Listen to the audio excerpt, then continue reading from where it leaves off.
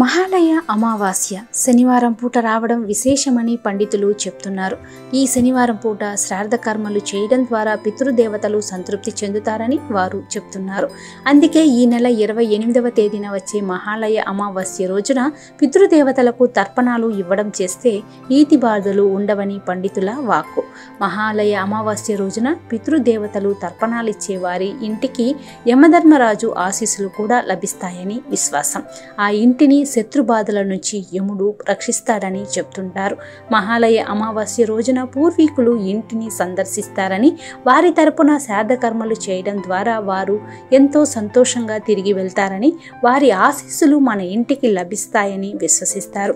పూర్వీకుల ఆత్మలు మోక్షం పొందాలంటే మహాలయ అమావాస్య రోజున వారి శాంతి కోసం తర్పణాలు ఇవ్వాల్సిందే. మహాలయ పక్షంలో ఆచారం ఉన్నవారు యథావిధిగా అన్న సంతర్పణ పితృశార్థలు నిర్వహించడం చేయవచ్చు. ఇప్పటి వరకు ఆ అలవాటు లేనివారు కనీసం ఏదైనా దేవాలయంలో బియ్యం కూరగాయలు ఉప్పు పప్పు పండ్లు దక్షిణ తాంబూదాలతో విపులకు స్వయం పాకం సమర్పించడం ద్వారా పేదలకు అన్నదానం చేయడం వల్ల పితృదేవతల ఆశీస్సులతో ఎంతో కాలంగా తీరని కోరికలు తప్పక నెరవేరుతాయని విశ్వాసం. ఎప్పుడో మరణించిన పితృదేవతలకు తర్పణలు వదడం గతించిన పెద్దలను తలుచుకొని వారి పేరిట అన్నదానం చేస్తే వారికి కడుపు మనకు మనస్సు నిండుతాయి. భాద్రపద మాసంలోని శుక్లపక్షం దేవతా పూజలకు బహుళపక్షం పితృదేవతా పూజకు విశిష్టమైనది. ఈ బహుళ నుంచి భాద్రపద మాసం బహుళపక్షం ప్రారంభమవుతుంది. పితృదేవతలకు ఇష్టమైన పక్షం కనుక దీనిని పితృపక్షం అంటారు. అలాగే ఈ పక్షాన్ని మహాలయ పక్షం అని కూడా అంటారు. ఈ రోజుల్లో ఎలాంటి శుభకార్యాలు చేయరు. పక్షం మొదటి రోజు నుంచి చివరి వరకు పితృదేవతలకు తర్పణ శ్రాద్ధ విధులను నిర్వహించాలని పురోహితులు చెప్తున్నారు. ఒకవేళ అలా కుదరనప్పుడు తమ పితృదేవతలు ఏ తిదినాడు మృతి చెందారో అదే తిదినాడు శ్రాద్ధం నిర్వహించాలి. తండ్రి జీవించి ఉండగా తల్లిని కోల్పోయిన వారైతే ఈ పక్షం నవమి తర్పణ శ్రాద్ధ విధులను ఆచరించవచ్చు. ఈ పదిహేను రోజులు నియమపూర్వకంగా పితృదేవతలను తర్పణాదుల ద్వారా తృప్తి కలిగించాలి.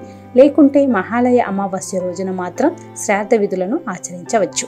ఉత్తరాయణం దేవతల కాలం కాబట్టి ఉత్తమ కాలమని దక్షిణాయనం పితృకాలం కనుక అశుభమని పూర్వీకుల విశ్వాసం. అంతేకాకుండా ఆషాఢంలో వచ్చే కర్కోటక సంక్రమం నుంచి ప్రారంభమయ్యే దక్షిణాయనం వర్షాలు బురద చిమ్మ చీకటితో భయంకరమవుతుంది. అశుభమనిపిస్తే ఆశ్చర్యపడాల్సిన పని లేదు. అందులో భాద్రపద మాసమంతా జలభయంగా కనిపిస్తుంది. ఇదే ఒక మహా వినాశనం అనుకోవడంలో ఆశ్చర్యం అంతటికంటే లేదు. కావున ఈ పక్షంలో అందరికీ శ్రాద్ధ తర్పణములు చేయాలని శ్రాద్ధాలతో వారిని సంతృప్తిపరిస్తే తమకు ప్రళయం గడుస్తుందని భావించి ఉండవచ్చు. అంతేకాకుండా ఆషాఢం రెండవ పక్షం మొదలు ఐదవ పక్షం వరకు పితరులు చాలా కష్టపడుతుంటారు. కాబట్టి మహాలయ పక్షంలో ప్రతిరోజు శ్రాద్ధం జరపాలని ఆచారంగా పెట్టారు. పితరులను తృప్తిపరచే ఈ కర్మల ద్వారా పితృ రుణం తీర్చుకునే అవకాశం ఉంటుంది. స్వర్గస్థులైన మాతా పితరుల కోసం ప్రతి వారు ఈ పక్షాల్లో పితృకర్మలను ఆచరించాలి. తద్వారా శ్రేయస్సు పొందగలుగుతారు. భాద్రపద పూర్ణిమతో ఆరంభమైన పితృపక్షం మహాలయ పక్షం ఆ మాసపు అమావాస్యతో ముగుస్తుంది.